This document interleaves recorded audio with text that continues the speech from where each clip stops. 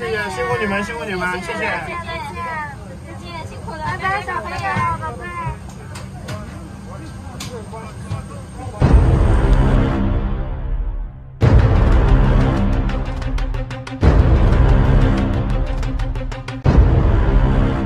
안녕하세요. 이박사입니다. 저는 요즘 매일 아침 중국의 바이두를 통해서 코로나 바이러스의 통계를 살펴보고 있습니다. 그런데 오늘 아침에는 어젯밤까지의 통계가 나와야 할 시간에 계속 나오질 않고 있었습니다. 그래서 이제나 저제나 하면서 기다리고 있었는데 문득 이상한 생각이 들어서 전국 통계가 아니라 후베이성의 통계를 살펴봤더니 확진자 수가 15,000명 가깝게 증가를 한 것을 발견을 했습니다. 깜짝 놀랐죠? 그리고 어째서 전국 통계가 올라오지 않는지에 대한 짐작이 갔습니다. 너무도 큰 숫자가 올라오고 그래프 모양이 심각하게 변하기 때문에 중국 정부가 그것을 올리지 못하도록 한 것이 아닌가 하는 생각이 들었죠. 이 후베이성의 코로나19의 그래프를 보고 있으면 완전히 통제에 실패해서 어제부터 브레이크아웃이 시작된 그런 그래프처럼 보입니다. 관련된 정보가 어디선가 나올 거라고 생각을 해서 여기저기 뒤져보니까 잠시 후에 중국 정부로부터 해명이 있었습니다. 그것은 지금까지의 진단 방법과는 다른 기준을 선택했기 때문에 숫자에 큰 차이가 난 것이라는 것입니다. 과거에는 의심 환자의 핵산을 시험해서 그 시험 결과를 가지고 판정을 했는데 너무나 시간도 많이 걸리고 임상의 경험이 많이 쌓였기 때문에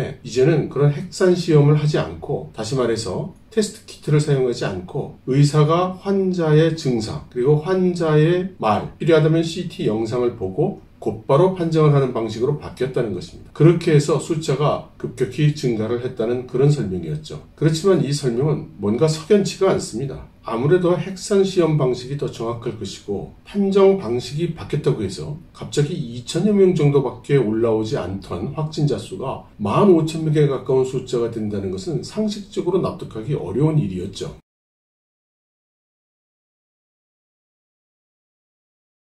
제가 아는 지인 가운데 가족들은 우한에 있고 본인만 베이징에 와 있는 사람에게 연락을 해 보았습니다. 그랬더니 어제 우한에서 있었던 일을 얻어 들을 수가 있었는데요. 어제 우한에서는 정부의 방역팀이 모든 집을 하나하나 방문을 해서 가구에 있는 사람들을 모두 조사를 해갔다고 합니다. 그리고 만일 열이 나거나 증상이 있는 사람이 있으면 그 자리에서 모두 데리고 나갔다는 겁니다. 참고로 제가 있는 베이징 같은 경우에는 조사를 하긴 하지만 저희 단지에서도 전화 또는 문 앞에서 혹시 아픈 사람은 없습니까? 이런 식으로 조사를 했고 저희 집사람이 다니고 있는 직장에서도 전화로 혹시 집안에 뭐 아픈 사람이 있냐 거주하는 장소는 어디냐 뭐 확인 전화가 있었을 뿐이고 실제로 집안에까지 들어와서 조사하는 일은 없었습니다. 그런데 어제 우한에서는 이렇게 가가호호 방문해서 모든 사람을 조사했다는 것입니다. 제가 연락을 한 지인은 이런 우한시의 조치에 대해서 상당히 긍정적인 입장이었습니다. 왜냐하면 굉장히 불안했었다는 겁니다. 어디에 누군가 바이러스를 갖고 있는 사람이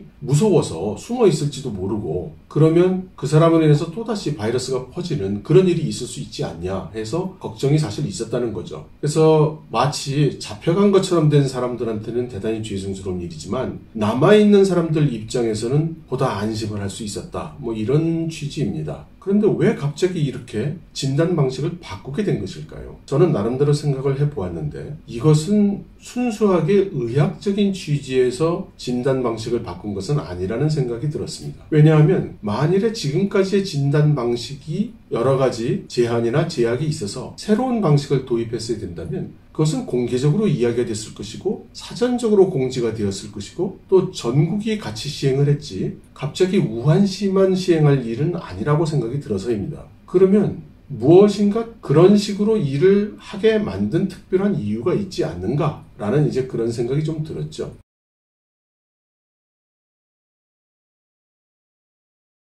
지금까지 말씀드린 것은 이미 발생한 사실에 대해서 말씀드렸고요. 이 시점 이후에 말씀드리는 것은 오로지 저 개인적인 추론이고 가설이고 추측일 뿐이니까 하나의 가능성으로만 들어주시면 좋겠습니다. 저는 이렇게 갑자기 우한시의 진단 방식을 바꾸게 된 것은 최근에 후베이와 우한에 있었던 고위공직자들의 인사와 관계가 있다고 생각합니다. 중국 현지의 소문으로는 사방에 있는 지방정부가 중앙정부에 대한 불만이 많이 팽배해 있다는 얘기를 들었고 중앙정부의 지시를 잘 듣지 않고 독자적인 판단을 내리는 그런 지방정부가 늘어나고 있다는 그런 말을 들었었거든요. 다시 말해서 각 지방정부 입장에서는 내 문제를 빨리 해결해야 되는데 나는 목숨이 달린 문제인데 중앙정부에서 내려오는 지시가 현실과는 괴리가 있다고 생각을 하는 거죠. 그렇지만 여태까지의 중국 공산당 체계는 상부에서 명령하면 하부에서는 무조건 복종을 하는 이제 이런 체계였습니다. 그리고 이 바이러스를 둘러싼 후베이성의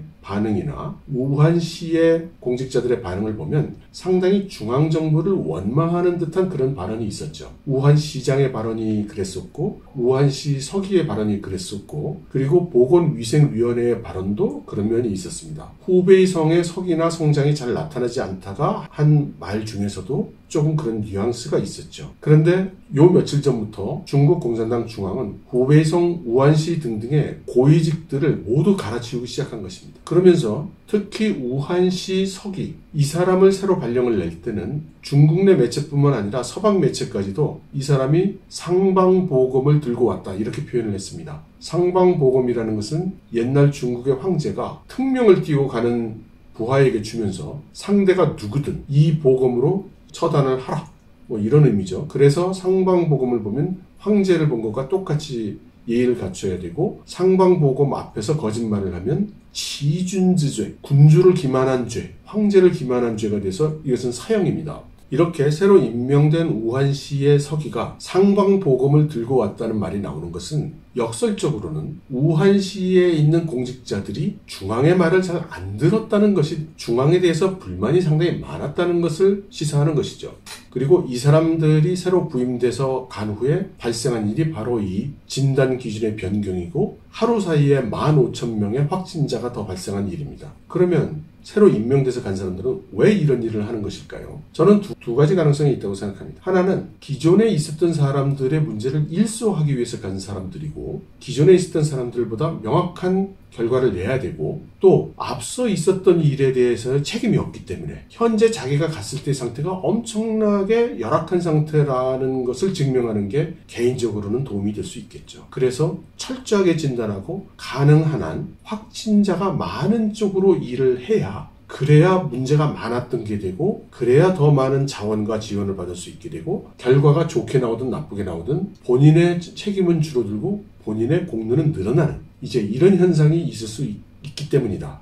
이렇게 보는 해석이 하나 있을 수 있을 것 같습니다. 그리고 저는 또 하나의 가능성도 있다는 생각이 드는 것이 지금 중국 정부가 WHO에서 코로나 바이러스의 전문가 그룹을 파견하겠다고 하는데도 계속해서 못 들어오도록 이런 핑계 저런 핑계로 지연을 하고 있습니다. 그리고 지난 주말에 WHO에서 발표한 바로는 이번 주 월요일이나 화요일에 WHO의 전문가 그룹의 조장이 먼저 중국에 들어가고 그 후에 조원들이 들어갈 거라고 했었는데 역시 못 들어가고 있습니다. 블룸버그는 미국의 전문가들이 그것 때문에 기다리고 있는 중이다. 이렇게 보도를 했죠. 저는 이 두 가지가 연결이 돼 있을 가능성이 있다고 생각합니다. 중국 정부 입장에서 WHO의 전문가 그룹이 와서 지원을 하고 현장을 가보고 판정을 해주고 이렇게 할 텐데 그 전에 자체적으로 이 상황을 통제하에 완전히 놓고 싶은 것이 아닌가 하는 그런 생각입니다. 그것은 그냥 단순히 자존심의 문제가 아니라 현실적인 이유가 있다고 생각이 드는 것이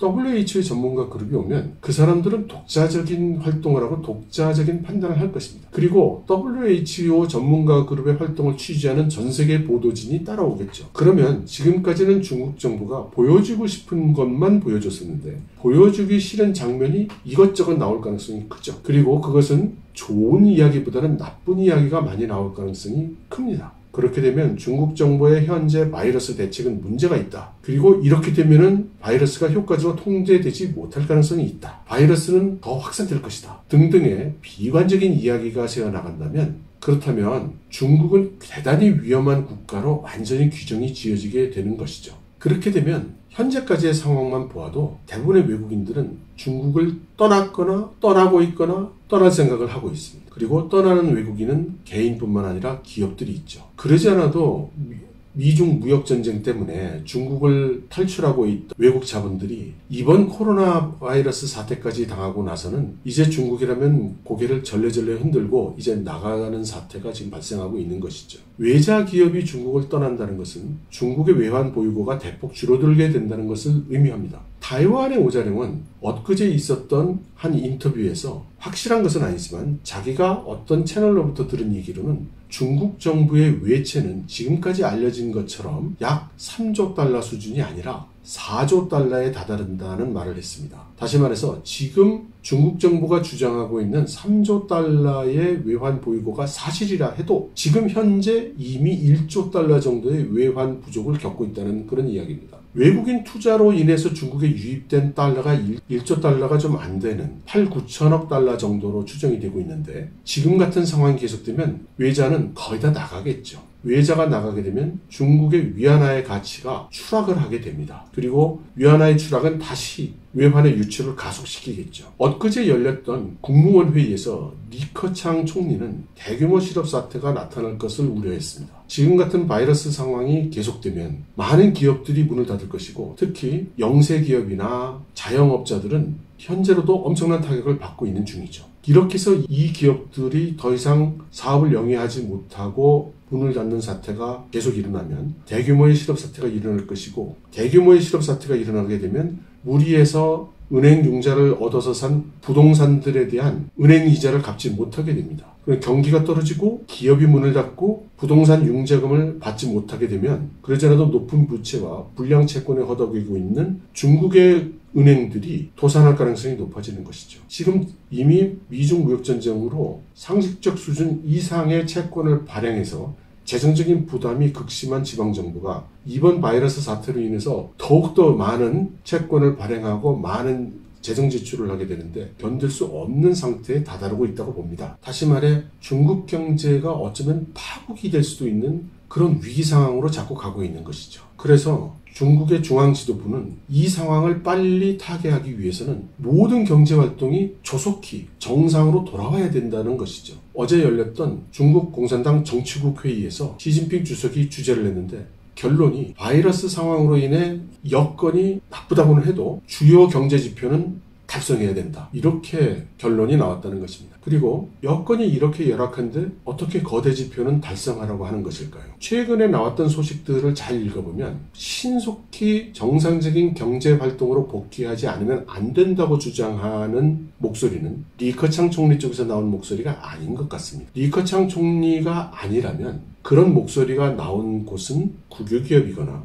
금융 또는 외환 쪽에서 나온 것입니다. 그런데 국유기업이든 외환이든 수출이든 금융이든 이러한 분야의 공통적인 근본적인 문제는 과다한 부채고 이 과다한 부채를 지탱해주고 있는 것은 외환인 것이죠. 결국 시진핑 주석 쪽에서는 무리한 줄 알면서도 빨리 모든 기업들이 정상적인 업무에 복귀를 해서 정상적인 경제 활동을 해야 한다고 그렇게 지시를 하고 있는 것으로 보입니다. 그리고 외국 기업들의 유출, 이걸 막기 위해서는 빠른 시간 내에 이 바이러스가 통제되고 안심할 수 있다는 증거를 보여줘야만 하는 그런 절박함이 있어 보입니다. 물론 앞서 말씀드린 대로 이러한 생각들은 저의 생각일 뿐이고 무슨 구체적인 증거나 정보가 있는 것은 아닙니다. 그래서 많은 가능성 중에 하나로 그렇게 들어주시면 좋을 것 같습니다. 조금 전에 들어온 소식입니다만 이제 중국 중앙정부는 전국에서 의료진을 2만 명을 우한으로 보낸다고 합니다. 이미 우한에 가 있는 의료진 중에서 천여 명이 자신들도 감염이 돼서 누워 있다는 말을 들었습니다. 이 2만여 명의 의료진은 중국 각지에서 지방도시에서 심지어 의과대학 학생들까지 동원되는 그런 상황인 것 같습니다. 이번에야말로 우한에서 끝장을 보겠다는 의지의 표현 같습니다. 결전입니다. 꼭 성공하고 의료진과 시민 모두 무사하시기를 바랍니다. 여러분.